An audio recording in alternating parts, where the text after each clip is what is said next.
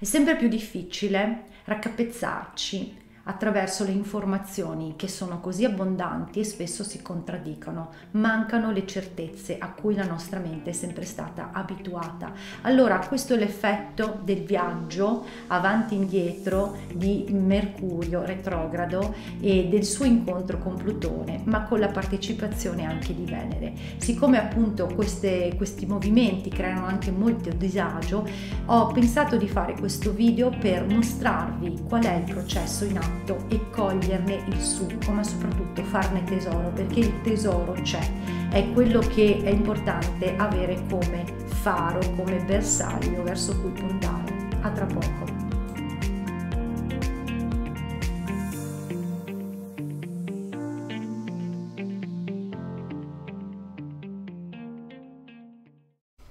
Bene, benvenuti oltre il velo, grazie per essere qui per questo contributo che tra l'altro è un contributo molto personale.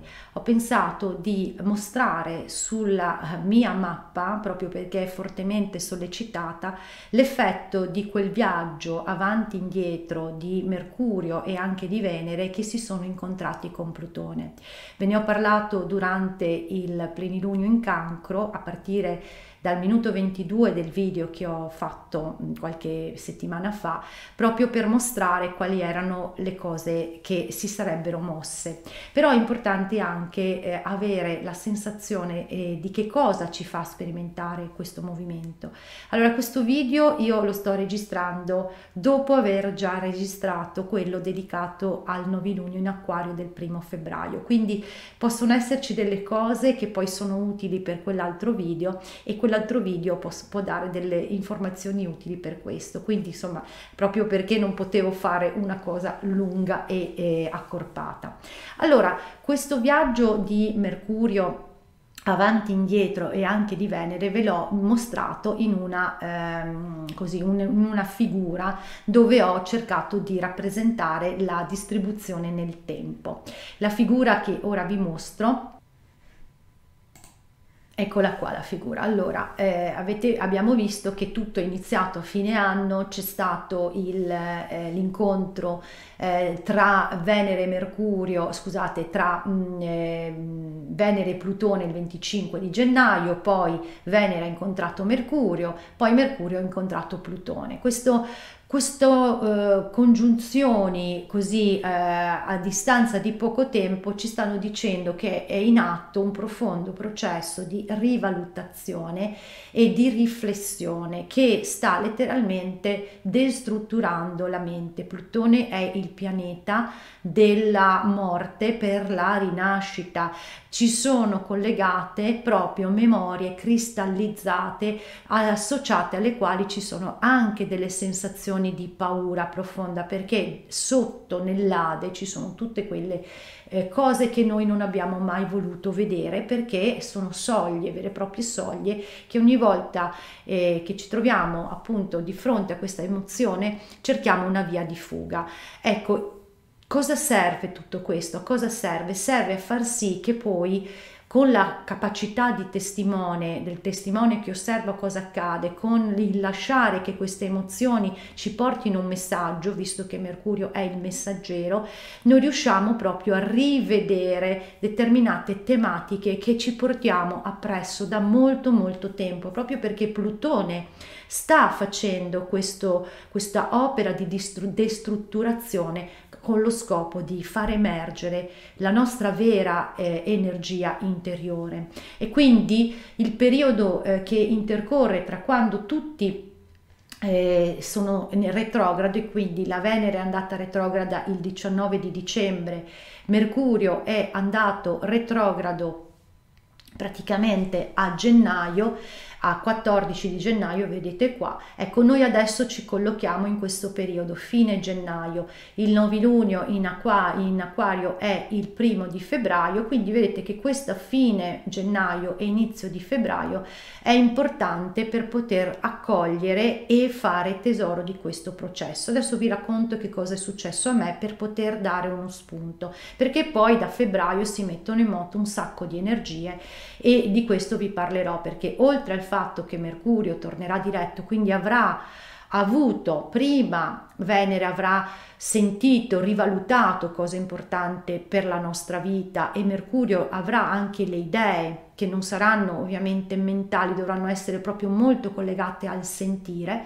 ritornando diretto poi eh, porterà in moto, perché poi entrerà anche in acquario e già entra in, in acquario in febbraio, per a farci appunto ricevere delle intuizioni, delle, eh, dei flash, noi l'obiettivo è proprio quello di non continuare ad usare vecchi modi di pensare, proprio perché Plutone li sta destrutturando, ma soprattutto la possibilità di riscrivere una storia, cioè di chiudere un libro, di riscriverne un altro, perché noi stiamo cambiando paradigma e siccome ciò che creiamo dipende da ciò che crediamo e quindi ciò che crediamo dipende da ciò che abbiamo nella mente, nelle emozioni, capite bene che è cruciale questo passaggio in atto e poi tra l'altro Mercurio incontrerà Plutone il giorno 11 e poi ci sono tutta una serie di altri appuntamenti. Allora vediamo un attimo eh, per quanto riguarda nel mio caso specifico proprio perché eh, in questi giorni ho proprio toccato con mano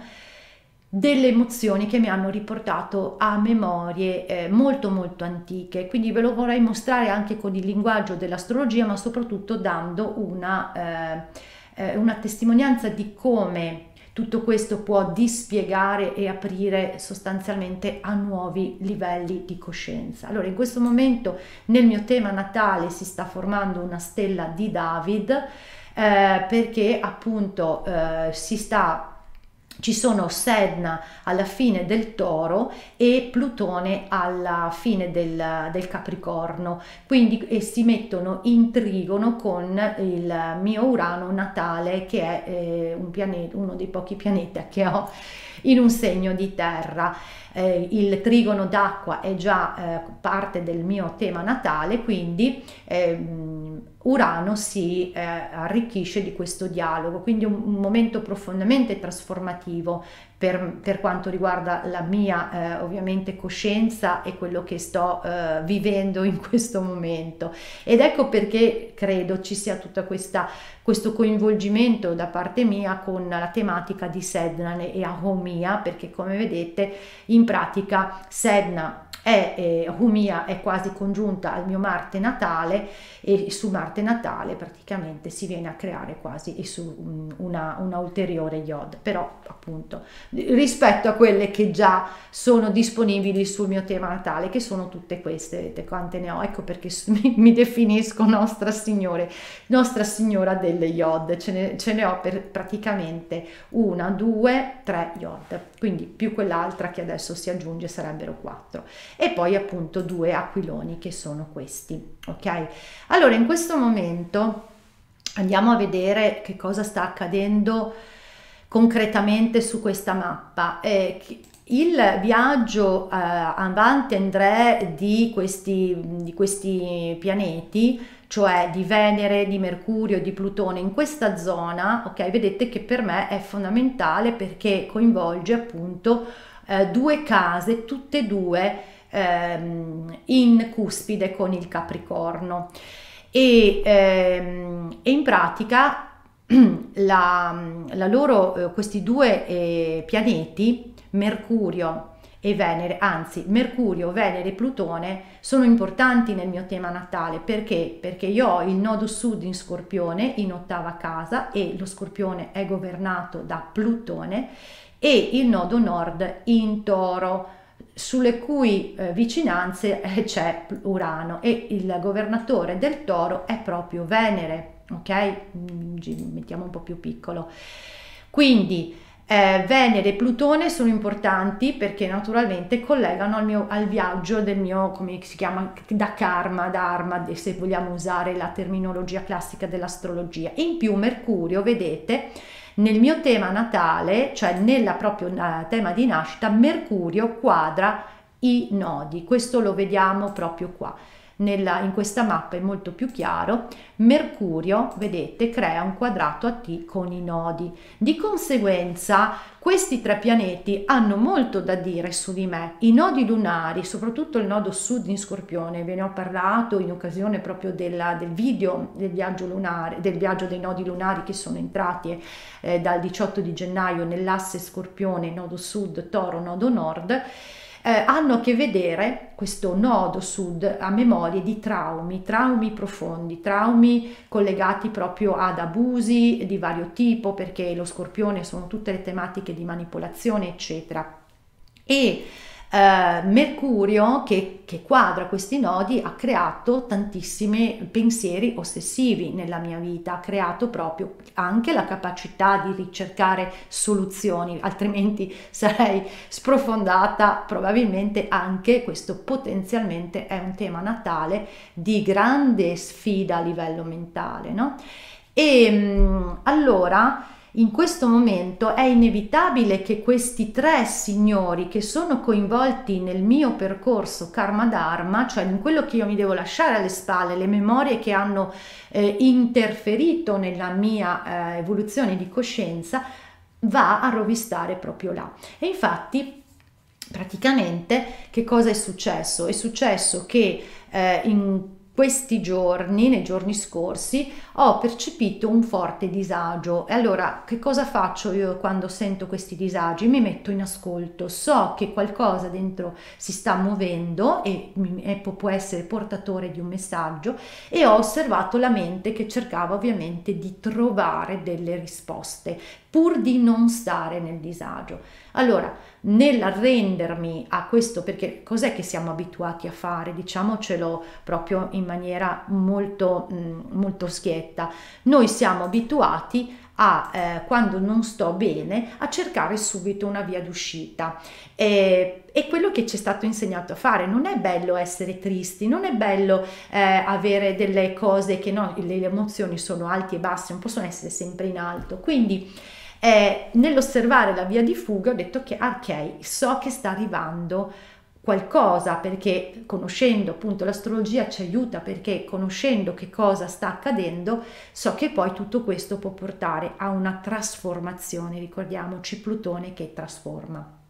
Allora, nel sentire questa emozione mi collegava all'aspetto della eh, difficoltà, proprio perché essendo io acquario, la difficoltà nel vedere eh, le situazioni in cui l'essere umano è, mh, mm, come dire, eh, imprigionato nelle sue paure. L'essere umano non riesce a cogliere, eh, ad aprire la mente. Io sono venuta qua per aprire la mente ed è quello che mi piace proporre a chi eh, ovviamente eh, segue i miei video oppure eh, segue anche dei percorsi con me.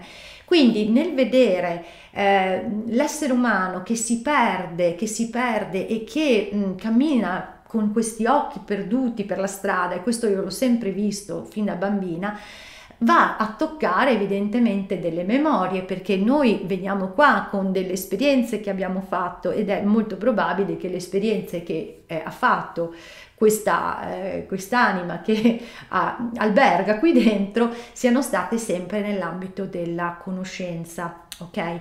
Allora Così nell'ascoltarmi mi è tornata in mente una cosa di quando ero bambina, ho fatto proprio il post su Facebook raccontandolo, cioè io quando ero bambina eh, sono stata eh, sempre come dire a casa con la mamma, con le signore che abitavano nel condominio, quindi in un ambiente tutto sommato in cui io ero al centro dell'attenzione. E questa cosa la si vede chiaramente perché la luna è in toro, scusate la luna è in toro, la luna è in eh, leone ok? Eccola qua, la luna in leone.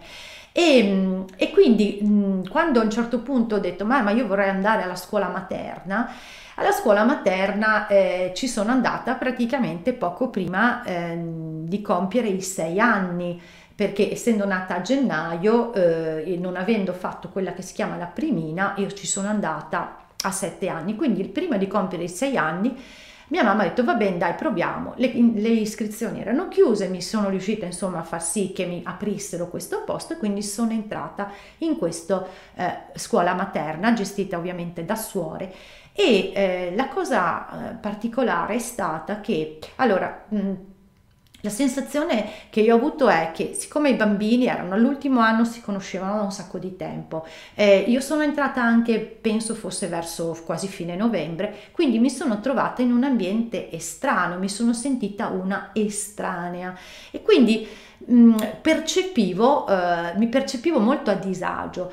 Ecco che si è attivato perché poi sono andata a vedere i transiti di quel periodo e la rivoluzione solare di quell'anno ed è veramente, cioè l'orologio cosmico funziona perfettamente. Era la tematica che dovevo vivere. Si doveva riattivare tutta l'energia che l'acquario ha di colui che si sente un po' diverso. Io mi sentivo molto diversa, non riuscivo a stare in quelle ligie discipline eh, monastiche, chiamiamo così, e guardate un po', io ho tutti questi pianeti personali, a parte Venere che è sulla, sull'ascendente, in casa dodicesima, la cosa dodicesima, la casa delle prigioni, e tra l'altro in cuspide al ventitresimo grado del Capricorno che parla di una donna che entra in convento. Quindi capite bene che io quella cosa...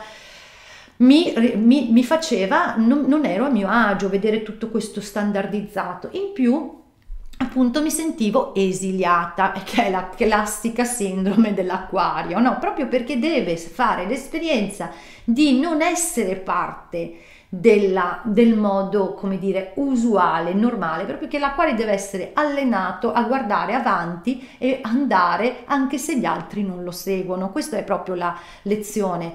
E, mh, mm, e la cosa divertente è stata che eh, c'era un bambino eh, che mh, veniva isolato e a me faceva veramente tanta compassione quel bambino e quindi io ci stavo vicino eh, a questo bambino che in più tra l'altro si faceva pure la cacca addosso e quindi tutti lo evitavano. Quindi questa situazione così, no? Vedi la, l'acquario che cercano di aiutare sempre.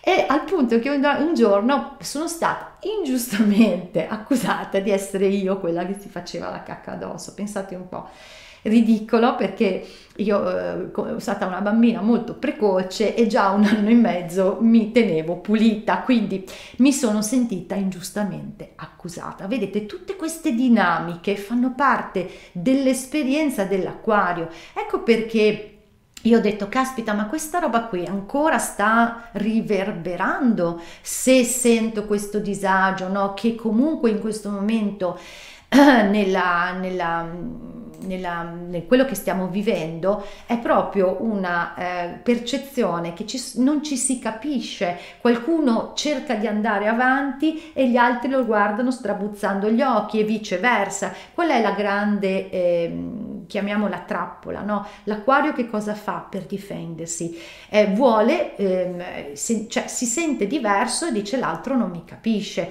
l'altro non ha capito niente, no? Quindi io sono, sono quello che vede avanti, sono quello che sa, ecco, io so, è proprio la frase dell'acquario, io so. Ecco, noi mm, come ho spiegato anche nel novilunio in acquario, noi in realtà non sappiamo niente, noi vediamo solo dal buco della serratura, abbiamo delle feritoie, quindi qual è l'invito? L'invito è di dire siamo a più livelli di coscienza e quindi anche se io mi sento a disagio perché il mondo sta cambiando, cioè ci, stanno, ci sta crollando il il terreno sotto i piedi, non so se ve ne siete rendi conto, quindi è normale che nel campo eh, emergano perché tutti stanno facendo questo processo di riorganizzazione della mente. Per esempio, adesso ritorniamo qua su questo punto, anche se è sul, sul mio tema natale, però tutti stanno facendo questo processo di ristrutturazione della mente che coinvolge, ma perché? E tutti stanno rivivendo nel loro piccolo delle paure. A me riguarda tutta la tematica del collettivo, undicesima casa, e della eh, prigionia della personalità, quindi del sentirsi vincolato a non poter esprimere il proprio sole, ma ognuno poi avrà eh, il capricorno e i primi gradi dell'acquario posizionati in qualche altra eh, punto della, della mappa, no? in altre case. Quindi se noi comprendiamo che tutti stiamo vivendo questo processo e anziché rimanere agganciato, io potrei essere andata lì e dire allora adesso devo fare qualcosa perché devo togliermi questa memoria, ma quella bambina invece ha detto ok, questa, questa parte qui è la vecchia storia La vecchia storia con cui sono arrivata, sono arrivata con delle vecchie storie, guardate qua, questa roba qui lo dice chiaramente, sono arrivata con delle vecchie storie, adesso il transito mi dà l'opportunità di eh, di dire basta. Quindi mi sono messa serena, in pace, sapendo che il processo, l'astrologia è utile per quello, il processo prevede che a un certo punto Venere torna diretta. Adesso è stazionaria qua, torna diretta il 29 di gennaio, quindi porterà un nuovo, una valutazione diversa, qualcosa che tra, tra l'altro sarà in trigono con Urano, quindi sicuramente porterà delle, eh, vedete qua, 11 gradi del Capricorno, sarà in trigono con Urano che ha 10 gradi del Toro, quindi avrà un flash, un'apertura, i varchi di cui parlavamo. Mm, Pluto, eh, Plutone e Mercurio si congiungeranno lo stesso giorno in cui Venere tornerà diretta, quindi qualcosa eh, toccherà le nostre menti. Poi Mercurio andrà ancora un po' indietro e ritornerà diretto il 4 di febbraio, rincontrerà Plutone, questo è molto importante, tra l'altro a 27 gradi, 27 gradi che, che, è questo punto importantissimo di cui vi ho parlato in occasione del mh, mm, eh, plenilunio in cancro, quello che il Sole ha il simbolo sabiano della voliera, quindi ci permetterà di vedere dove noi siamo rimasti eh, avvinghiati dentro delle false no, sicurezze, perché pensavamo di essere liberi, invece finché abbiamo le cose che macinano sotto non siamo liberi liberi. La vera libertà è la libertà dalle nostre storie, perché altrimenti, come spiego nel eh, video sul novilunio in acquario, continuiamo a proiettarle e cerchiamo delle conferme in qualunque cosa succede fuori per poter rimanere praticamente agganciati al nostro corpo di dolore.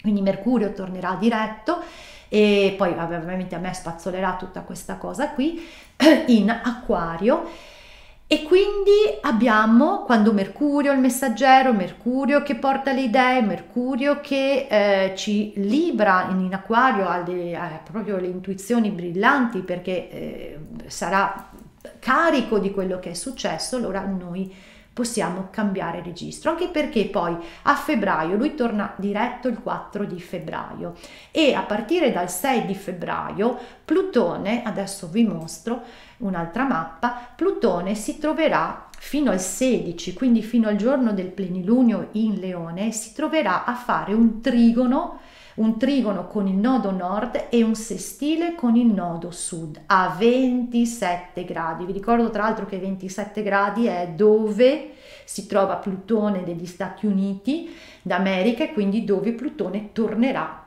dal momento della Costituzione americana. Ho fatto anche un video riguardo a questo. Quindi che cosa ci dice? Che Siccome sono aspetti favorevoli, questa è una grande opportunità di rilascio di queste paure. Ho avuto il tempo di ascoltarle, di rivalutarle, di non andare a cercare fuori delle risposte, perché fuori non le troveremo mai in questo momento, perché è tutto in fase di destrutturazione, non funzionano più le certezze di prima. E quindi questa è la mappa che ho estratto quando sarà esattamente, congiu- sarà esattamente al grado, cioè 27 e, e 22, 27 gradi, 22 primi, 49 secondi, sia i nodi che eh, Plutone. E qui quindi abbiamo chiarissimamente la possibilità di chiudere proprio svuotarci di legami, lo scorpione, legami karmici collegati proprio a dinamiche che non sono più, eh, che ci depotenziano, che ci hanno probabilmente depotenziato per tante vite, ok? E eh, di poterci eh, materializzare, perché siamo proprio in un, in un trigono di terra, materializzare qualcosa di totalmente nuovo e questo eh, proprio mh, mm, ce lo, ci verrà agevolato. Ora, noi sappiamo che quando ci sono di mezzo insomma adesso che è in atto un grande processo di ristrutturazione non è, non è, che possiamo pensare come tutto questo ci verrà agevolato perché le vie dello spirito non sono le vie dell'essere umano. Quindi può essere anche qualcosa che apparentemente eh, non è semplice da lasciare ma questa eh, posizione ci dice che è il momento migliore per farlo per distaccarci e investire, cioè magari abbiamo sovrainvestito in qualcosa che pensavamo fosse importante, questo 27 gradi dello scorpione parla il re delle fate che raggiunge il suo regno, quindi qualcosa che era illusorio, totalmente illusorio. Capisco che mi ha eh, eh, assorbito un sacco di risorse, mi ha tolto un sacco di potere personale e invece 27 gradi del toro, e qui vicino abbiamo Sedna, quindi vi ricordo sempre di sprotocollarci, parla di una donna che dopo il cambio di vita sperimenta un nuovo amore. Intanto questo può essere anche per chi ha chiuso relazioni abusive, ha avuto il coraggio di uscire da situazioni che sono state depotenzianti per tanto tempo, probabilmente dietro alle quali c'erano proprio dei patti karmici fatti in vite e vite, di proprio anche aprirsi a nuove legami, a nuovi incontri. Questo può, può voler dire, può valere in qualunque campo, può essere anche una nuova attività in cui io metto il, la mia creatività, no? perché dipende sempre da dove eh, questa cosa, tutte queste... Mh, questi gradi cadono. Tra l'altro 27 sono del toro, è, è, importante perché qui ci sono le Pleiadi, le Pleiadi mm, mandano un download di codici potenti per, per, il passaggio di coscienza che stiamo vivendo. Quindi una cosa importante da aggiungere è che proprio in questo punto, 27 gradi del toro, abbiamo avuto il plenilunio in toro del 19 novembre 2021, quello con l'eclissi e in occasione di quell'eclissi praticamente eh, c'era stato detto che eh, poteva esserci portato via qualcosa um, che ci dava la possibilità proprio di trascendere determinate tematiche per poterci eh, collegare eh, aprire una porta ad un benessere oltre il conosciuto. Quindi c'era la tematica anche del femminile che è eh, appunto in grado di creare nuove connessioni tra gli esseri umani rispetto alle usuali modalità per ribaltare situazioni pesanti. Quindi febbraio è fondamentale per chiudersi alle spalle qual è la storia principale. L'ho detto nel video lo dico nel video sul novilunio in acquario, quello di sentirci sempre sotto attacco, perché noi non abbiamo ancora consapevolizzato che la vita ci ama, che noi abbiamo diritto di vivere perché siamo degli esseri viventi. Io non devo meritare di vivere. Quando incarniamo questa eh, consapevolezza, eh, ab- abbiamo un potere enorme. E guardate che eh, questa cosa quando ho registrato il video sul novellino di acquario non avevo visto che c'era non avevo ancora visto questa cosa qui che vi sto mostrando.